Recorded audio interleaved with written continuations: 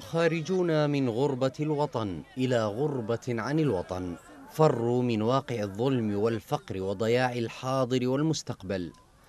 ومثل هؤلاء الكثير من العراقيين في قوافل متتابعة منذ الغزو الأمريكي لبلادهم عام 2003 وحتى هذه اللحظة.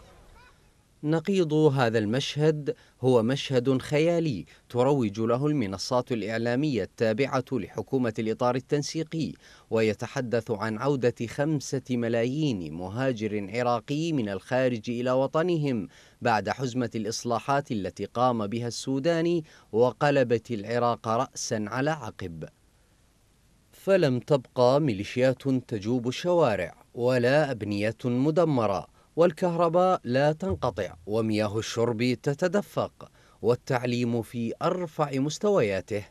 أما المستشفيات فيقصدها المرضى من جميع أنحاء العالم لما فيها من أجهزة طبية متطورة ومستلزمات كثيرة.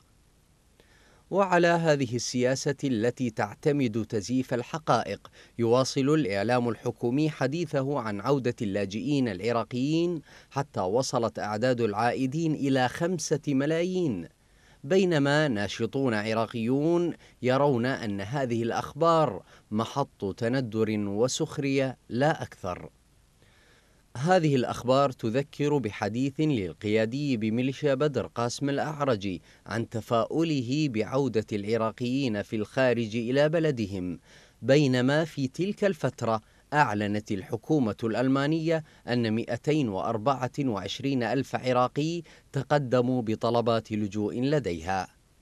الحكومة التي تتحدث عن ملايين العراقيين العائدين من الخارج إلى بلدهم في ظل حكم الإطار التنسيقي هي ذات الحكومة التي لم تستطع أن تقنع النازحين في الخيام بالعودة الطوعية إلى مناطقهم وللعاقل أن يتصور المشهد المتناقض.